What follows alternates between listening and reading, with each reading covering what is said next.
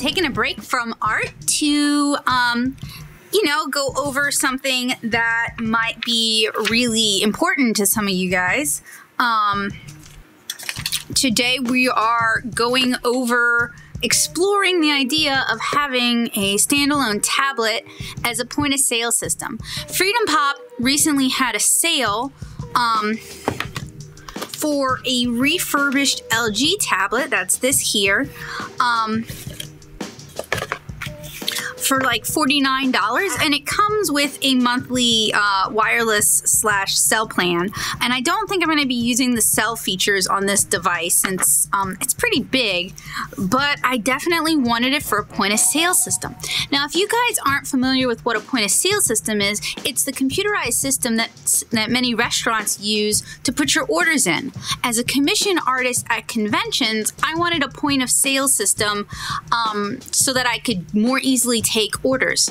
Uh, I do use my um, iPhone 4S with Square's Square Up um, reader, uh, but I'm really kind of dissatisfied with both Square and with my phone as a standalone device. If I have an assistant, it means we're basically tied to one to sharing my phone, which makes it difficult for me to fill commissions or go around and take photos or just basically use my phone as a phone. So I wanted a standalone device and I didn't want to pay a whole lot of money for it.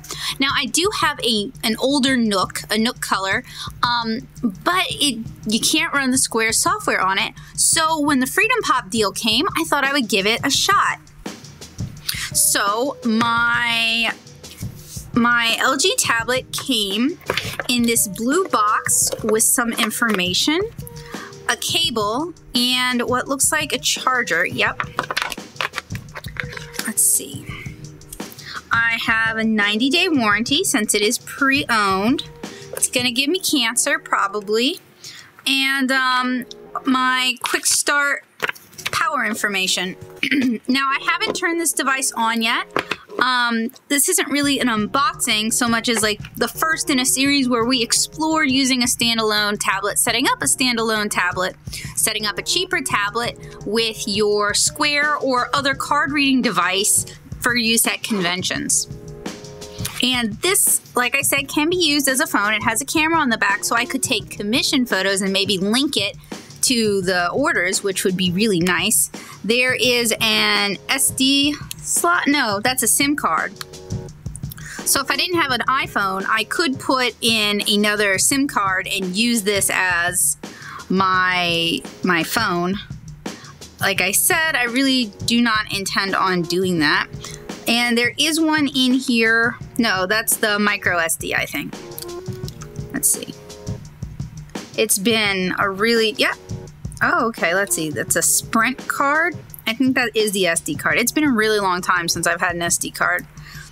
And there is no, I mean, shoot, that is the SIM card. It's been a really long time since I've had an a SIM card rather than an SD card. And takes, uh, let's see, micro SD. So the quick start guide says I need to, first of all, I should probably remove, ooh, very staticky.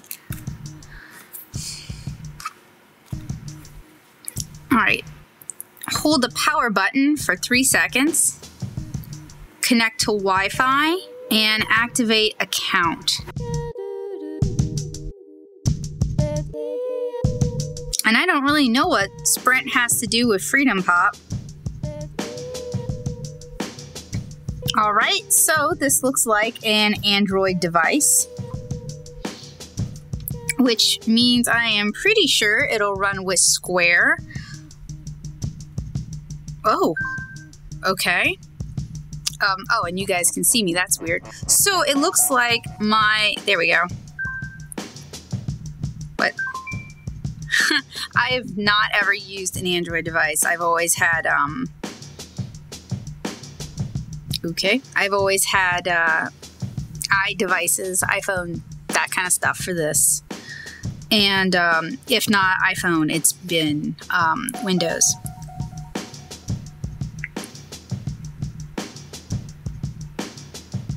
So I'm going to get this thing set up and then we'll go over downloading and installing Square. Okay, so I've got myself connected. So I'm going to go to the Play Store. All right, so to sign in to the Play Store, I had to sign into my Gmail. Um, and it.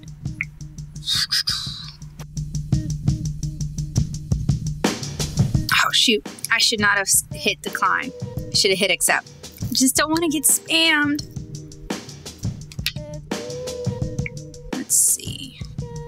Square is the current reader. So there's Square Register, POS, which is point of sale. Install. And it's taken a little while to, not too long, it's moving along, but it's taking a minute to download. And um, if you are using FreedomPop, you definitely want to be signed in on your home Wi Fi when you're doing this because otherwise you're going to be paying for that. So basically, anytime you can use, um, whoa.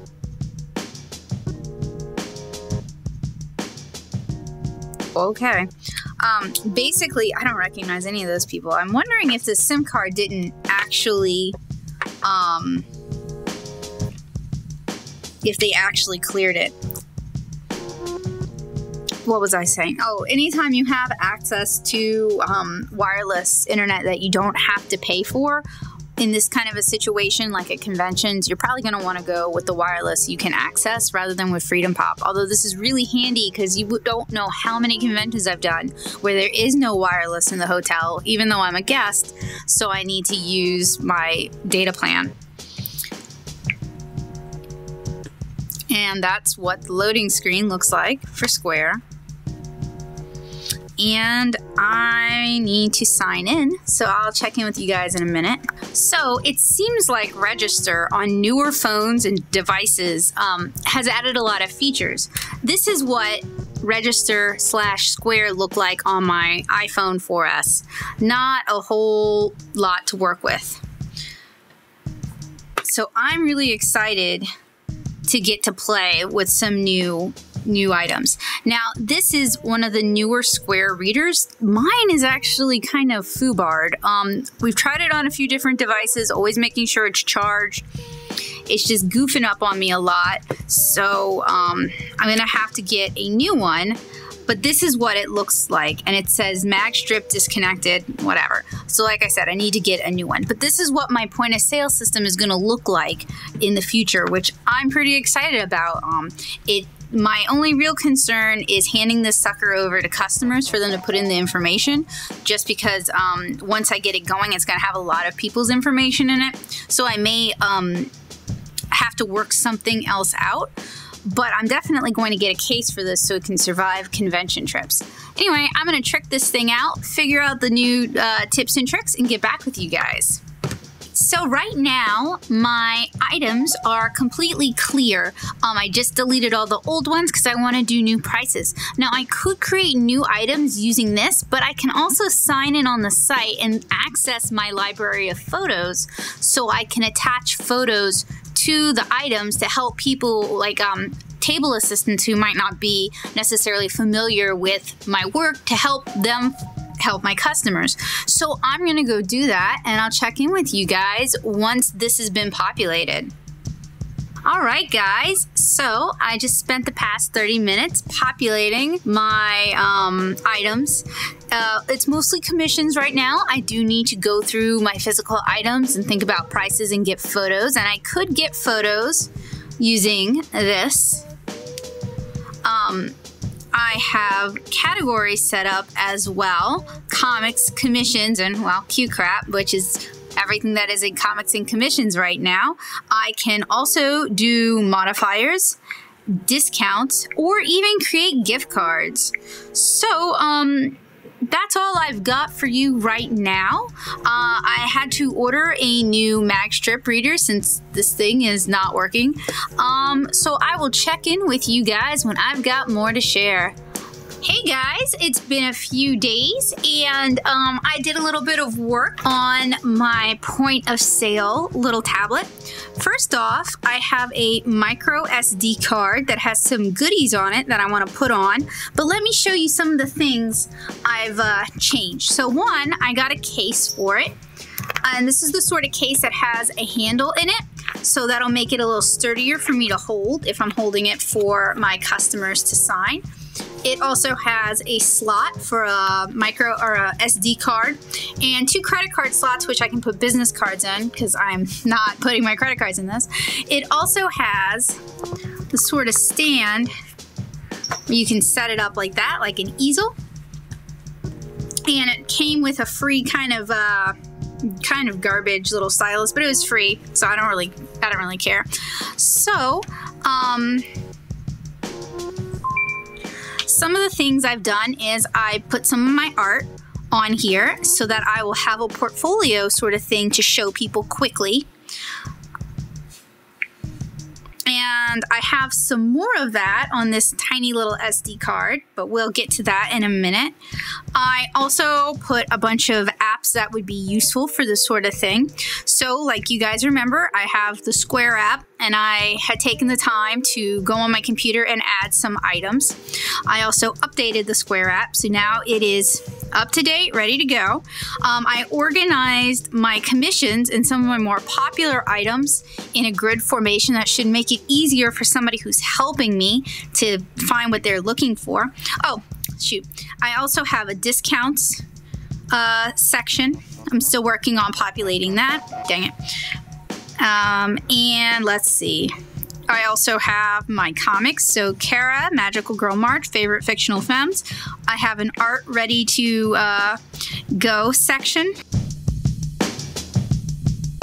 and that has two categories. It has the mini watercolors that I do as well as the larger pieces. So my square is almost set up. I do want to attach photos to some of these items just to continue to make it easy for people who are helping me to find what they're looking for. Um, let's see. I also installed some little art apps. Um, nothing nothing too big a deal. I organized things into little folders. Um, and I put all the things I'm not going to use often in their own folder as well. So let's remove my little tablet from its case and put the SD card in. Shoot. Oh yeah, and I also downloaded and installed OneDrive so I have access to a lot of my my blog stuff and my illustration stuff on the go just in case. And this is helpful because this little tablet does have a SIM card. So um sorry has a SIM card. So I can pull this up you know, even if I'm like at an airport or something, I can pull those things up if I want to. So over here is where you put the micro SD card. And this is not a permanent um, space upgrade. This is just so I can quickly transfer some files. Although having OneDrive makes it really easy too. Hmm. Weird, I can't get it in. Don't want to force it, but it's got this like weird little something on it.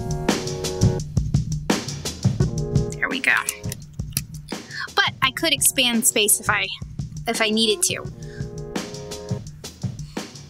All right, SD card inserted.